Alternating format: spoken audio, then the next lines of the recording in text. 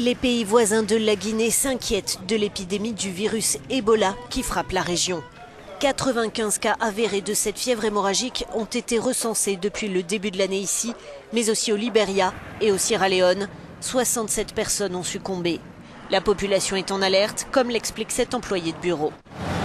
On a reçu certains conseils, comme par exemple d'éviter certains liquides organiques, les, les urines, la sueur, et, autres choses qui, ont été amendées par, message téléphonique. Nous devons nettoyer la ville pour lutter contre la maladie, explique cet habitant de Conakry. Nous devons nous en assurer parce que tout le monde a peur pour sa vie. Nous devons lutter contre la saleté. L'épidémie s'est déclarée dans des régions du sud de la Guinée, proches des frontières de la Côte d'Ivoire, du Liberia et du Sierra Leone. Un cas suspect avait été enregistré lundi au Canada, mais l'homme, qui revenait d'un voyage en Afrique, n'est pas contaminé.